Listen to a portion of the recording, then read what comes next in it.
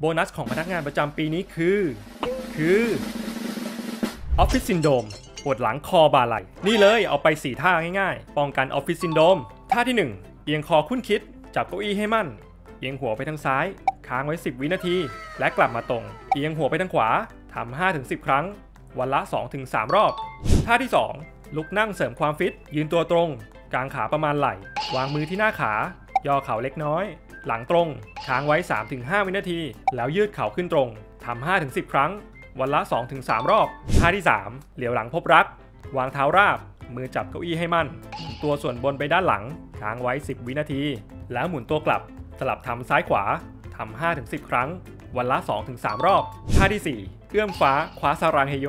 นั่งตัวตรง ยกมือขึ้นเหนือศีรษะ โน้มตัวไปด้านซ้าย ค้างไว้ 10 วินาที สลับ 2 ข้างทำ5-10 ครั้ง วันละ 2-3 รอบ แต่ถ้าให้ดี ลุกจากเก้าอี้ทุก 30 นาทีนะครับ แค่นี้โอกาสเป็นออฟฟิศซินโดรมก็น้อยลง ที่เราแชร์เพราะแคร์ไง